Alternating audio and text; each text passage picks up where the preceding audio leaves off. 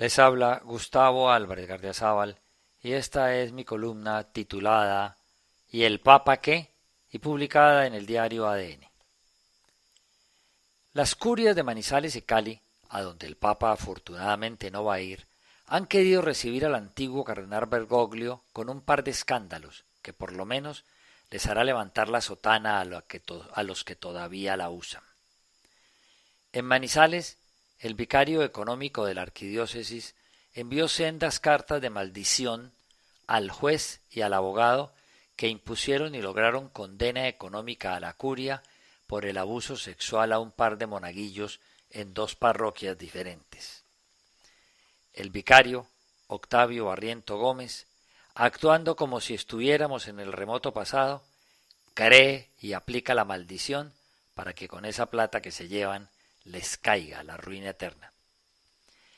En Cali, los conocidos sacerdotes Germán Robledo y Hernán Betancourt, ambos graduados en Economía y Negocios, uno en la Universidad del Valle y el otro en Innsbruck, y quienes fueron administradores de los bienes y los ahorros eclesiásticos de otros arzobispos, han denunciado en una carta pública al nuncio en Bogotá los malos manejos que el muy publicitado arzobispo Monsalve ha hecho de esos bienes y sobre todo de los ahorros.